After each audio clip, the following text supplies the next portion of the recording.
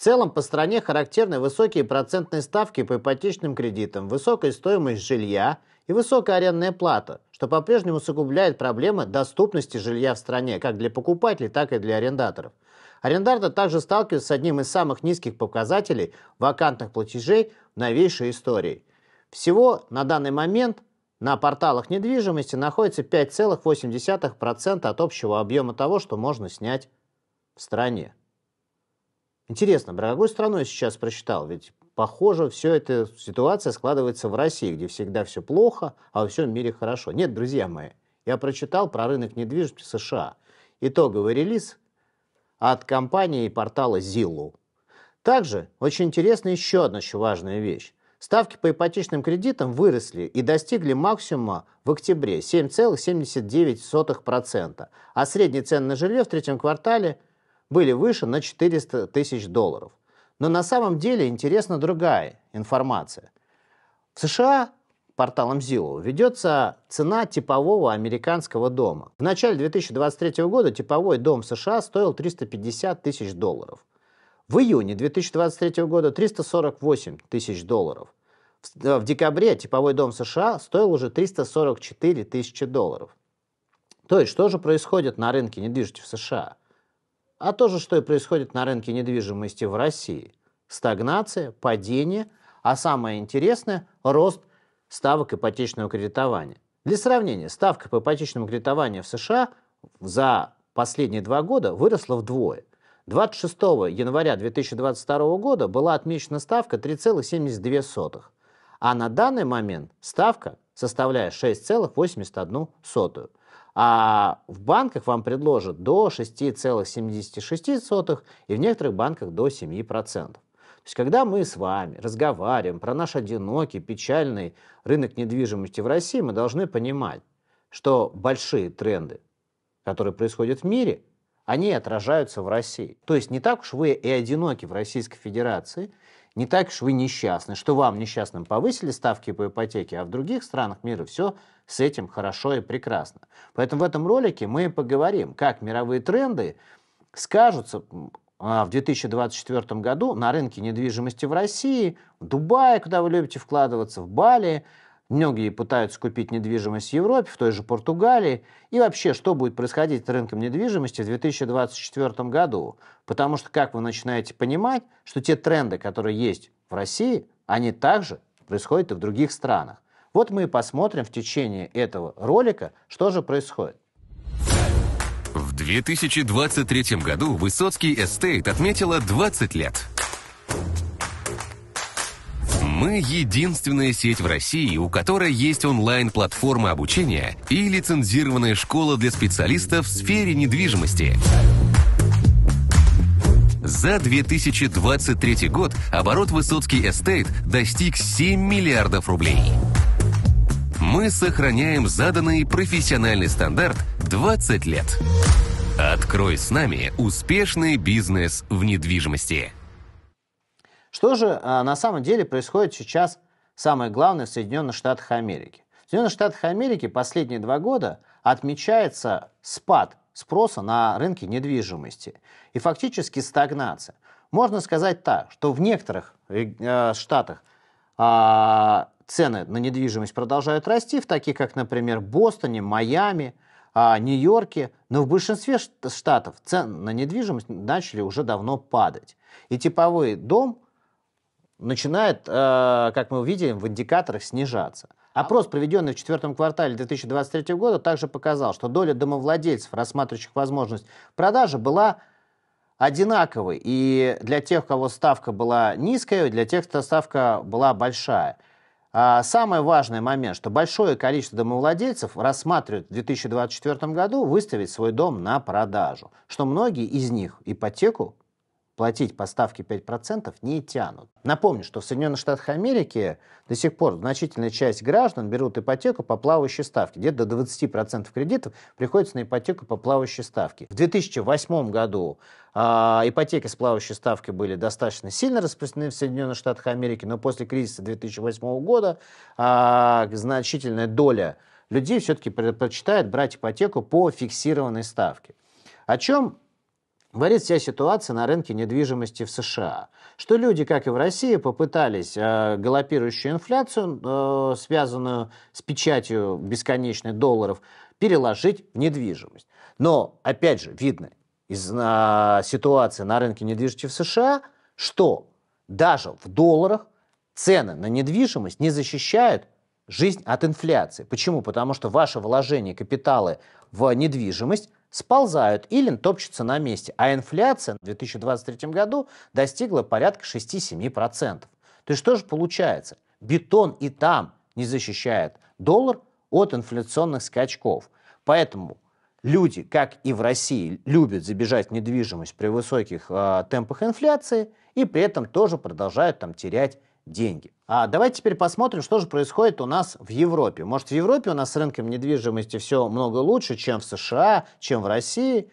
Цены на недвижимость в Германии продолжают падать уже 4 квартала. В третьем квартале 2023 года цены упали на 10,2%. Так сдувается самый большой ипотечный пузырь за последние 50 лет. По мнению аналитиков, Германии развивается самый крупный кризис на рынке недвижимости за историю наблюдений с 2000 года. Ой, то есть получается, что на рынке недвижимости в Германии из-за того, что опять же стали подниматься ключевые ставки, стали подниматься ставки по ипотеке, фактически начался кризис а, достаточно системный и продолжительность его пока никем не прогнозируется. Самый крупнейший кризис на рынке недвижимости за последние 50 лет. Давайте посмотрим, что во Франции. Во Франции упали продажи жилья, но не цены. Давайте разберемся, что же происходит с Францией. А, темпы снижения цен на дома составили 1,7%. Снижение цен на квартиры 3,4%. А вот самое интересное – это спрос. Так вот, спрос на покупку недвижимости упал на 16%. То есть продажи на рынке Франции, по данным известного агентства недвижимости Century 21, упали на 16%. А цены на жилье в среднем по стране снизились на 1,7%.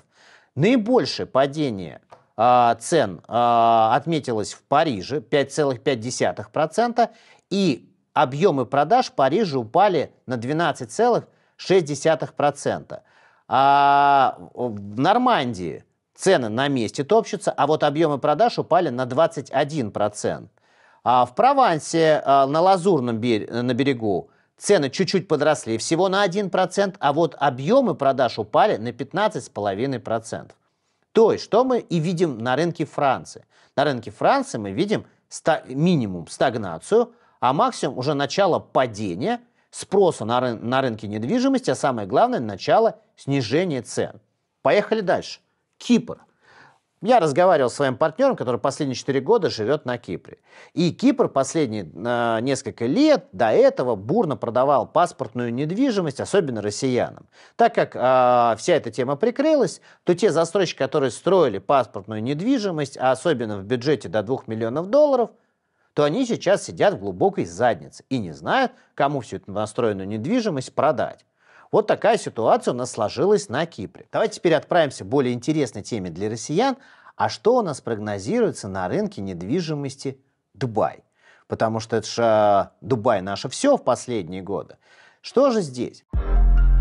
Наши ученики знают, как зарабатывать на недвижимости. Узнайте и вы.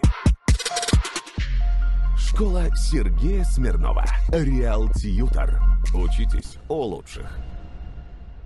А, по данным а, известного банка ЦБРЕ, соответственно, цены с января 2020 года выросли в следующих показателях. Арендная плата выросла на 42%, жилье выросло на 33%.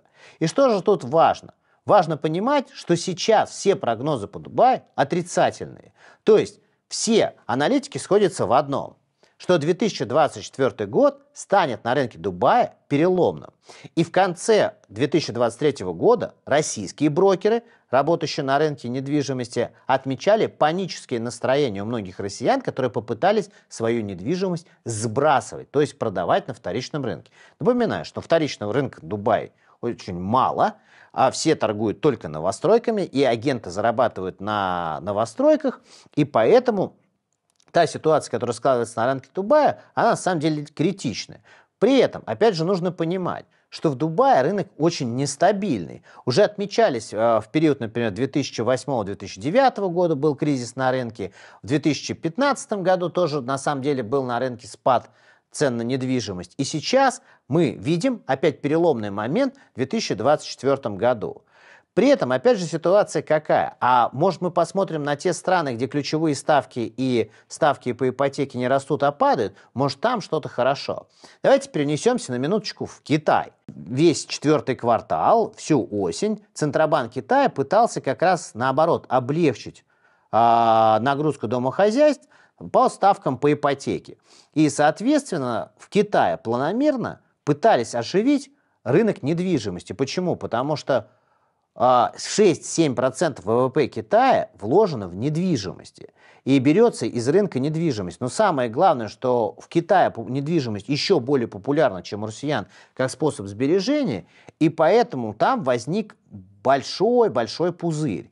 А, и самое главное, я уже приводил к вам в предыдущих э, материалах статьи аналитиков, которые говорят о том, что рынок недвижимости Китая – начал впадать в, а, в кризис еще в 2021 году.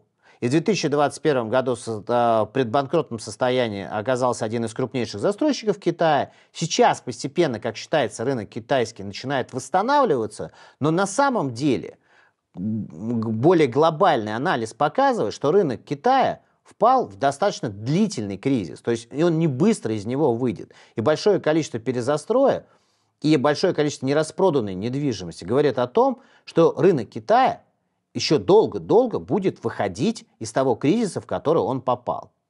Что же мы видим с вами на примере разных стран?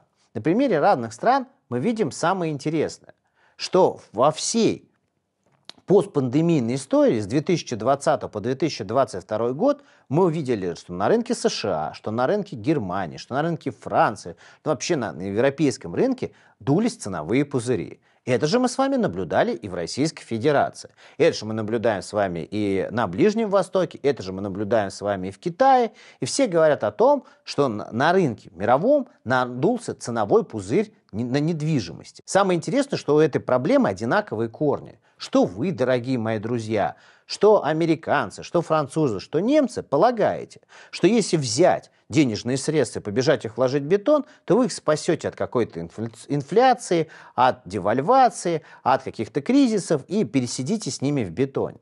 Но ситуация такова, что каждый раз люди, которые забегают по такой так, на тактике в недвижимость, в итоге эти деньги там теряют. И, казалось бы, уже прошло несколько кризисов во многих странах, и пора бы уже научиться. Но на самом деле память у нас очень короткая, поэтому в Российской Федерации ничем не отличается по модели поведения от многих стран. И поэтому что мы видим с вами? Что прогноз по многим странам на 2024 год либо стагнация, либо падение цен. То есть ни в одной стране мира сегодня нет положительного прогноза.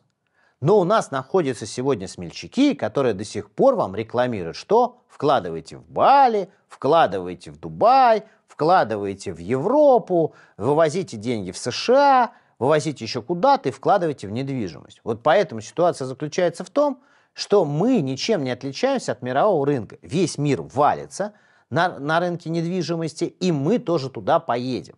Поэтому отрицать то, что у нас будут цены думать, что у нас цены будут расти, а во всех странах они будут падать, что мы каким-то чудесным образом нас мировой этот тренд не коснется, это достаточно глупо. Что же я как итог могу вам сказать в этом ролике? Как итог в этом ролике я могу сказать только одно, что расширяйте свой кругозор и смотрите на то, что происходит параллельно в нескольких странах. И тогда вы увидите очень интересный момент. Вы увидите сходные тренды, и вы начнете лучше предсказывать, что будет происходить с рынком недвижимости в России. И, на мой взгляд, высокая ставка сейчас по ипотеке для многих стран, в том числе для России, пойдет на пользу. По одной простой причине, что мы видели, к чему приводили те же нулевые ставки по ипотеке в США. Количество бездомных людей и людей, не способных купить недвижимость даже в ближайшем будущем, не упало, а выросло. То есть нулевые ставки по ипотеке, которые мы наблюдали с вами до 2020 года, до 2021 года, они привели к тому, что рынок недвижимости США раздувался так, что количество людей, способных купить недвижимость, в стране уменьшалось. Если вы посмотрите многочисленные сюжеты от разных наших соотечественников про рынок недвижимости США, то вы увидите, в том числе и Канады, что недвижимость из-за того, что за тех низких ставок по ипотеке становилась все более и более недоступной. Так что разумнее сделать для России? Для России нужно найти разумный баланс в ставках, а я считаю, что эта ставка где-то порядка 10-11% годовых, который будет балансировать рынок аренды и рынок э, покупки квартир в ипотеку. Это будет приводить к тому, что у нас такие ценовые пузыри не будут так быстро раздуваться, как это мы наблюдали с вами с 2020 по 2022 год. Поэтому ситуация сейчас на самом деле во всем мире такова, что мы вошли в длительный период высоких ключевых ставок. Это, с одной стороны, дает возможность людям накапливать денежные средства в других активах, но самое важное, это дает возможность охладить рынок недвижимости. И охлаждение рынка недвижимости будет происходить во всех странах примерно одинаково. И мы увидим период двух-трехлетнего спада. И поэтому мы сейчас с вами находимся в два года уже в стагнации, и сейчас мы потихонечку начинаем сползать. Поэтому для тех, кто хочет улучшить свои э, бытовые условия, 2024 год даст возможность переезда из маленькой квартиры в более а, большую по площади удобную, с минимальной доплатой. Почему? Потому что снижение цен на крупные лоты очень часто идет большими темпами, быстрыми темпами, чем на маленькие. Это я уже на этом канале объяснял. Поэтому, друзья мои, расширяем кругозор. На канал можете не подписываться. Всем пока.